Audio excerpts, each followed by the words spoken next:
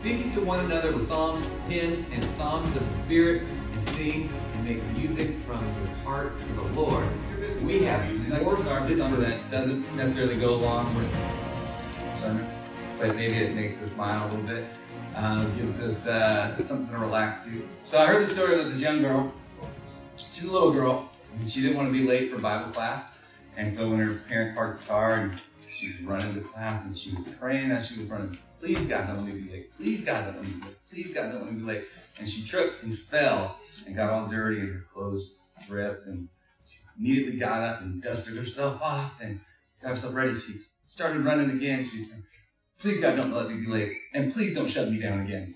I don't know. I don't know. I love little kids. Sometimes what they say means something. All one's too fast. That's true. That is true. We had some falls today that we're gonna pray about. Um, today I wanted to ask a question. Is there somebody in your life that you feel has either fallen away or has refused to accept Christ in their life? You, you can not, you know, you can raise your hand you. You don't have to. Um, I think if we're honest, we all have somebody in our life, somebody who who may have known the truth before, may have never accepted that Jesus is the Lord Savior ever in their life and refused to hear a word of truth. I want to give us a word of hope this morning. Um, and when we talk about coming as we are, we can also, we need to kind of look to the side a little bit and say there's never a wrong time. There's never a time where you had to be there. You know, when we were growing up, if you were in the church, there was like an age where you like, if you weren't baptized yet, people were like, why aren't you? you it was just like the system that you went through. You grew up in it. Even if you didn't believe or anything yet, you just felt the push to be in the water by like age 12. If you felt that push beforehand, you were weird because nobody gets baptized before 12. What sins have you committed at that point? You know, we make all these requirements, it's kind of weird. Uh, what is appropriate, what is not. And then on the outside, sometimes, we talked about this last week a little bit as the, or a couple weeks ago, as the bigger brother in the story of the prodigal son, we get frustrated when people come later after kind of messing their lives up and then expect to get the same reward. We do. We won't admit that, but sometimes I think we get frustrated in people. And this is shown by us thinking that the moment that they have accepted Christ, even though they've lived this long life of sin because they didn't know who Jesus was, we expect them to fall in line and figure it all out. I want to tell you this story, and this is how we're going to start. This is a real story, though, not a funny one. But it is funny. I was sitting in the office. This may have been two years into me, into my ministry, life in ministry in general. I was a youth minister at a church in Roseville. My stepdad was the minister. We shared a bigger office that was separated by a wall full of mold. We found out later. That's a different story altogether. But one day, he came into the office, walked through the door, and, and said, Hey, this is what's going to happen today. I'm going to need your help.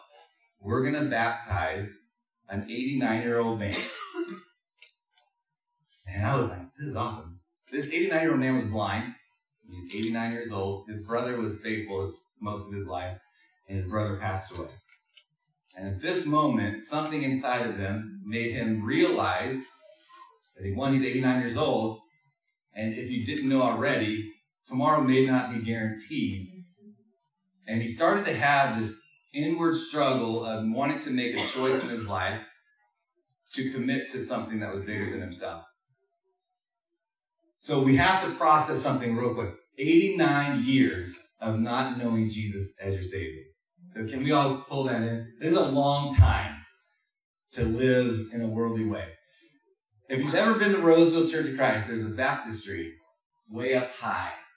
And it is the steepest staircase you've ever seen to get into some water. As steep as it is up, it's steep to get back down in the water. Not wide enough of a staircase for people to stand side by side. And we have a blind 89 year old trying to walk up some stairs. So I got I got the, the back, Dan gets the front, and we're trying to get this guy uh, alive to get in the water. And with every step, uh, out of habit, a swear word comes out of this guy's mouth because it's a struggle. So I need you to know this guy came in with a walker, an, an assistant, and yet we have Dan in front of this narrow staircase with a guy holding onto his shoulders, and me pushing parts to hope that he stays up, right? And we're getting him up there, and this is great. There are people who decided to come. This is a Wednesday morning at like nine o'clock, and some of our members who knew his brother came to support. The, he had no idea who these people were, and they're singing songs. And he says, "Oh, I don't need to interrupt if you guys already have something going on." And we said, "What do you What do you mean?" Like, I hear people singing. We're like, "They're here for you." Well, who are these people? And why do they care? And we got to explain to him that this is a family that you are coming into. This is a family that is so much bigger than just you accepting Christ. This is a family that wants to help you along your journey as well, and they want to support you and celebrate with you. And and he broke down a little bit. And with each step, he still had the struggle because he couldn't see, he didn't know which way he was going. We had to communicate, okay, a little bit bigger of a step, and we eased him into the water, and I had to run around on the outside to help. It's just, it was a fun little ordeal. And as he came out of the water, the celebration that he had may not have fit what we're used to. Because he came out of the water and said some words in celebration that maybe we might not have shared. But what is awesome and what I think we need to understand and get is he knew within him that his whole life is now going to change and who he was going to be connected to brought a celebration out of his mouth with only what he knew. And all I can think of for me is better late than never, right? 90 years old, and the guy's not alive anymore. And I know with certainty where his heart was and what he wanted in his life, even if he never got to a spiritual maturity that some of us in here have had, because guess what? 90 years of breaking habits of the world is not something that you do overnight, but you can tell that his heart was immediately changed. Because the callous guy, old guy that came in a little uh, a curmudgeon in a certain way, uh, came out with a smile and a celebratory heart in him. And I was amazed at what a commitment and an acceptance of Christ can do with someone. Now, for us here who, when I ask that question, do you have somebody in your mind that you know has made their way uh, different? That they decided you know, Jesus wasn't for them, or they just never want to listen, or maybe they understood it and walked away. I want to give you this piece of hope.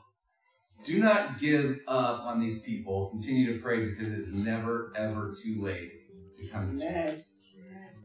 And this is our hope. And Jesus shows us this very clearly with one particular story. And so, first, let's just know it's never too late to come to Jesus. The story is going to be in Luke chapter 23, 32 through 43. Now, this is the story that you all know. We're going to, we're going to read it, we're going to read through it together. And we all know this because this is the story of Jesus on the cross, flanked by two criminals who deserve to be there. Not only is it never too late to come to Jesus, and accept Him, there's also nothing that you have done that could prevent you or Him from wanting you to come to Him. Out of all the stories of people who came to Jesus, we can always point that, you know, they had this life, but Jesus must have saw something in them, and He pursues them, and they are changed, right? We talk about the woman at the well, living this not so great life, she gets an encounter with Jesus. She leaves different. She goes back to her city or town, tells them all about what this Jesus guy said. They all come and they change. We have a woman who was dragged out of the bed in adultery, laid before Jesus, in the act, and Jesus, in this, you know, in this uh, connection, says, "Has anybody sinned here? If you have, if you haven't, you can throw the first stone." And he looks at the woman and says, "Why are you still here? Has nobody thrown anything at you?" No. Well, I'm not going to either. Now leave and sin no more, right? These are the connections and the, the context in which we usually see Jesus interacting with sinners and then leaving them different people. This is a story that is completely different. This is a story which we'll read where a guy comes to Jesus and there is no leave here and sin no more because there is no more for him. So let's check this out. Some people like to use this as baptism is important because of this. I will negate that, but let's let's look at this together. says two other men, both criminals, were also led out with him to be executed. When they came to the place called the skull, they crucified him there, along with the criminals, one on the right and the other on the left. And Jesus said, Father, forgive them, for they know not what they are doing. And then they divided his clothes, clothes by casting lots. First off, Jesus' forgiveness in his last moments here on earth is not just for the ones who are putting him on the cross, because it actually is. We all, in this room, out of this building, those who even believe in him, we are responsible for putting him on the cross. I don't want you to, to feel bad about it completely. I want you to feel good about how great God's grace is that his son would be willing to take all of that and to look at you in the face and say, God, forgive each of these. They don't know what they do. And I even think he's looking side to side here too on the other ones that deserve every bit of the cross that they're hung to. Forgive them. They don't fully get this life. So the people stood there watching, and the rulers even sneered at him and said, He saved others, let him save himself, if he is God's Messiah, the chosen one. I want us to, to get this full picture. Last week I said we don't share enough about this good news about Jesus. We don't share enough about a Jesus who would come and die for you, a Jesus who would get put in a tomb, and that tomb would be empty for you. We share it on occasion. We usually celebrate it the most on Easter. Every once in a while, we'll make a connection at Christmas that a, son was born in a manger laid on some wood, and that that's representative also of the same son who was laid on another piece of wood, all for the salvation and, saving of us. But I think we minimize this importance, and we think people have heard it too much, but there is never enough to hear of a Jesus who would come willingly and take on all of our mess so that we could have a perfection when God looks at us. In our imperfection, He sees us by the perfect blood of Christ. That's amazing. So important. So, they laughed at him. They mocked him. They said, if this is the chosen one and saved all these other people, why can't he save himself? The soldiers came up and they mocked him. They offered him wine vinegar and said, If you are the king of the Jews, save yourself. There was a, a written notice above him that read, This is the king of the Jews. We're starting to see how people viewed who Jesus was. They were trying to find ways for either to disprove who he was or for this to be the crowning moment that this Jesus who is on the cross, if he really is the Son of God, he will do some amazing things to make us all understand who he is. But inside of them, they were hoping that that wouldn't be the case because we already hear that the leader of these the Jews, the Sanhedrin, thought if we take out their leader, just like we did every other faith-based prophecy, if it's not of God, once we take out the leader, it'll go away. But if it is of God, then hey, we're going to have to sit with this. We're about to find out some things here. If we look at this moment, and you can think about yourselves or that person that you're talking about who's living this life and they're getting towards the end because we don't know what tomorrow is going to be. And they're sitting at the left and right of Jesus who's about to go. And you're thinking, they need to figure it out because it's almost too late. Jesus' grace and his love is so deep and so wide that it covers all of the things that we struggle with. One of the criminals who hung, who hung there hurled insults at him. Aren't you the Messiah? This is my favorite part. He's hurling insults, but he also goes, Aren't you the Messiah? Save yourself and us. If he thought he was really the Messiah, do you think the justice of God would say, Yeah, you criminals, murderers, thieves, who deserve every bit of this, I will save myself and you too, especially since you're insulting me and you don't believe me.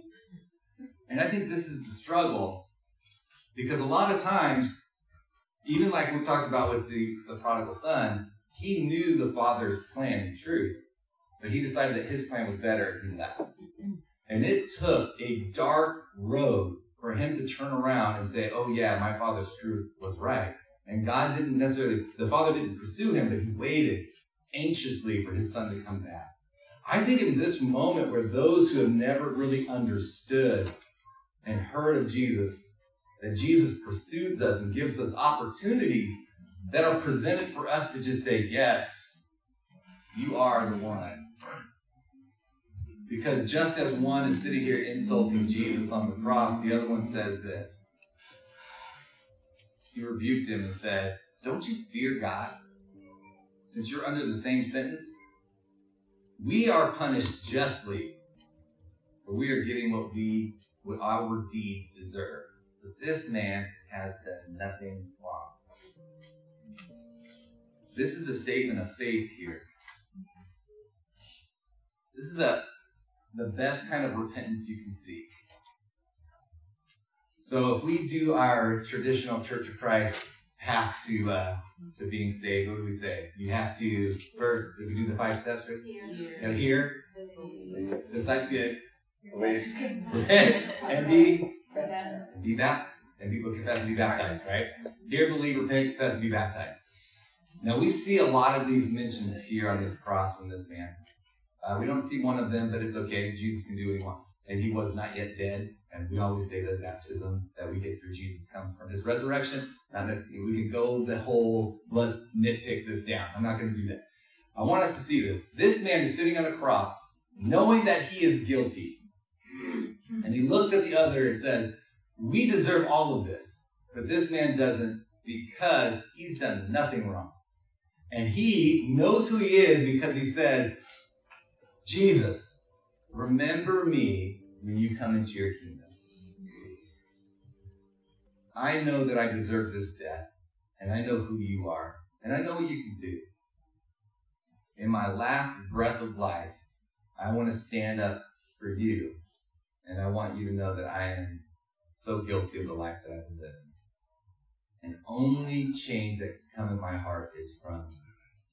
The only salvation that can come for me is through you. The only chance I have to be rightfully before the Father is through you. I, I want to break some things down for us. Um, we, as longtime Christians, sometimes forget about the grace of God, and we think that our salvation comes from us. And I know we won't admit this, so hear me on this verse. If I go to church enough, if I check enough of my boxes, if I read enough scripture, if I just get my life right, then I know and I can have confidence that I'll go to heaven. If I ask you the question, you definitely don't have to answer this, but maybe you can reflect on it. How many of you are afraid to die? How many of you are worried of what comes next?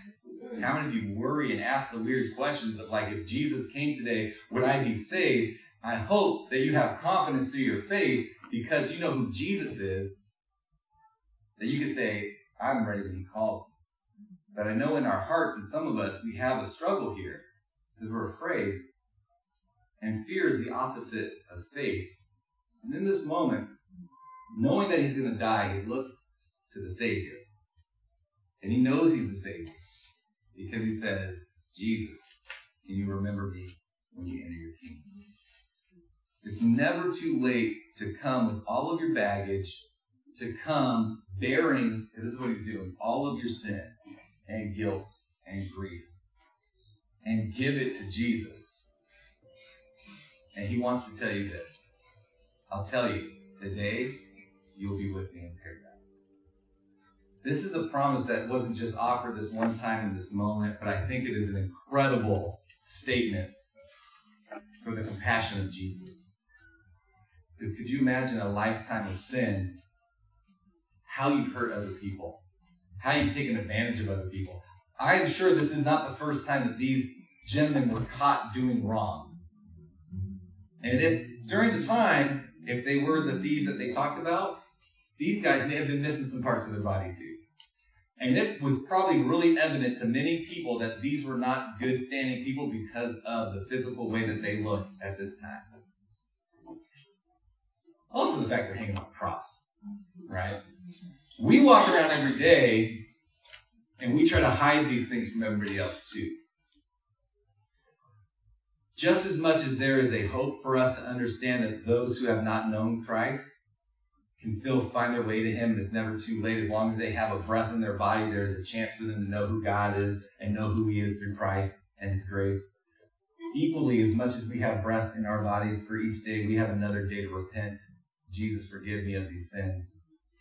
Jesus, thank you for the gift of salvation that came through you on the cross and out of the empty tomb. Jesus, help me to be more of your image each day so that others may know who you are by the life that you call me to live. It's a continual repentance moment that when we can look at Jesus and say, Remember me when you enter your kingdom. I am deserving of the cross that you had to bear. But you're choosing this for. This is a story that preaches even if you can feel that you do not have the gift to speak. You all have a gift to witness. And there are some people in your life that need to hear the promise that they may not ever feel that they deserve or will ever receive. And if you're afraid that they might not like you anymore, or will not want to be around you, or get tired of hearing about this Jesus that you love, can I remember, uh, remind you of a trustworthy saying? That when we die for him, we'll live with him. That when we endure for him, we will reign with him. That when we deny him, he denies us. But when we are unfaithful, he is always faithful because he doesn't deny himself. In the moments where you have opportunity to be Jesus for some people, have confidence. What I just gave you was from Timothy. Paul giving a trustworthy saying to Timothy in chapter 2 of 2 Timothy. You should go and look at that. Earlier in the first chapter, Timothy is known as being timid. He just feels like he doesn't have enough to go out and do things. And he always feels like he's being kind of pushed around and he doesn't know if he is the right person to do the job. And Paul has to encourage him. And he says, God didn't give you a spirit of timidity, but one of power and love and self control. And he gives us this to use to promote this great and good news of this moment. It's never too late for any of you, for any of those people in your family, for the guys who were out here earlier that are having a really hard life, that are living and in a way that maybe we look at and say, if they just knew who Jesus was, they could change around. I don't know. But the promise is for each of us. But if our first step is to hear before we can get to the last step of being baptized, are we helping those to hear this good news? We believe the good news ourselves that we can't help but to share? This is when we'll start to see those change and come. Reminds me of the day of of Pentecost when the Holy Spirit came to the disciples. And Peter goes out and shares his message. Message about Jesus who took on death, and death couldn't keep him. And people were convicted because their hearts were, were softened for the first time, saying, What do we do with all this information? Repent and be baptized.